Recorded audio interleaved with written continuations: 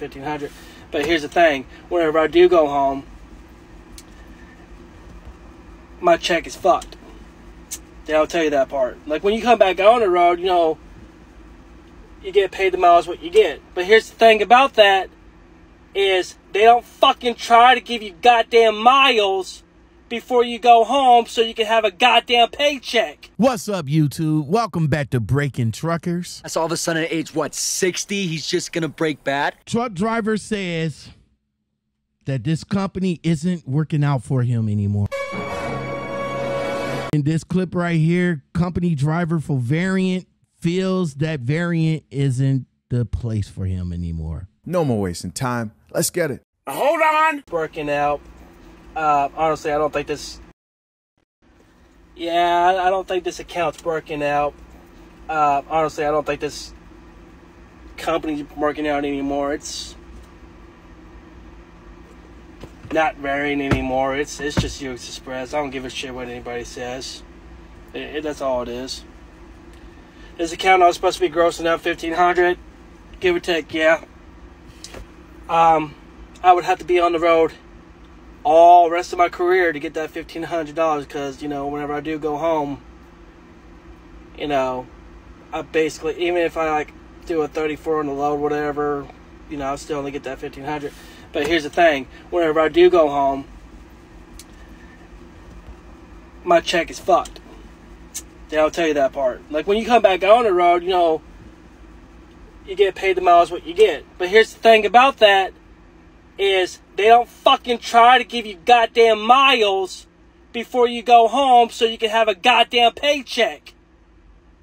Cause they keep on saying, well, you're guaranteed pay. Yeah, well, guess what? I'm about to go home in a couple days. 300 miles in a three day delivery schedule isn't fucking happening. Every time I fucking call y'all, y'all not really giving me any fucking answers. Y'all always saying, oh, I'm gonna ask fucking CSR and fucking whatever planners to see, and y'all never fucking give me anything. Because for some odd reason, y'all think fucking 300 or 1,000 miles takes you like fucking a week to get there. So I'm going somewhere else because I can't fucking take this bullshit anymore. And they say, well, if you do a regular OTR, you don't, you won't get the miles. I'm not getting miles either way it goes. Crazy, right? Now, I mean, I I I talked to a whole lot of drivers about their companies. Some of them says it's good, some of them says it's bad. You know, they'd like to expose their company for what they are. Now, I just got finished talking to a driver about Variant. He just left. Make sure you guys peep out that conversation.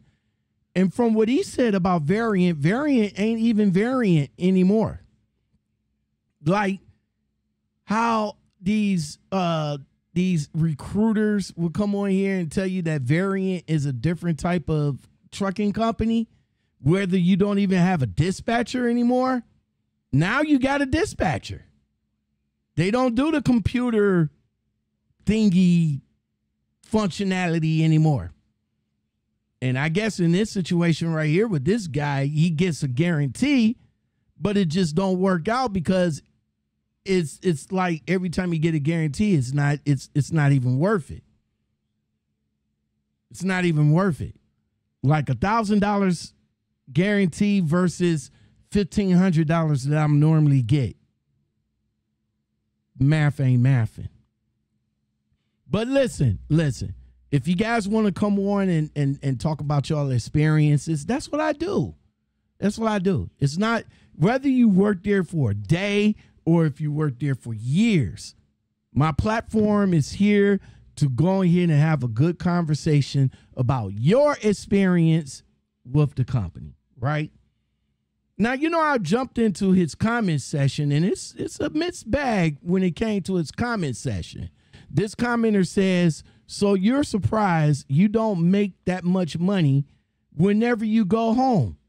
Which is true. Like if you if you go home if you go home and you don't do that many miles before you go home, then that paycheck on home time ain't going to be it. I'm just saying. I'm just saying. this commenter right here says he must be a new driver. Well, I, I don't know if he's a new driver, but he probably might be a new driver for Variant.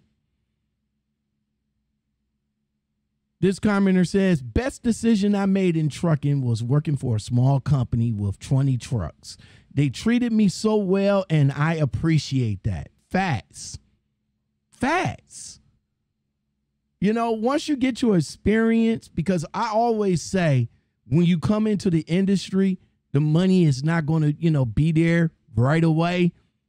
But if you get your experience, at least a couple of years, you can go to another company that can respect you and treat you a little bit better than what these mega carriers do.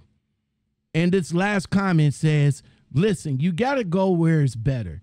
Everyone knows mega carriers don't care about you or how you feel. They're going to put someone else right in that seat. Exactly. You can come on here, cry on TikTok, cry on YouTube, cry on Facebook. But for every time that you decide to leave a company, they got five to 10 people ready to take that seat. Drivers, let me know your thoughts about this in the comments. Big G's got it locked.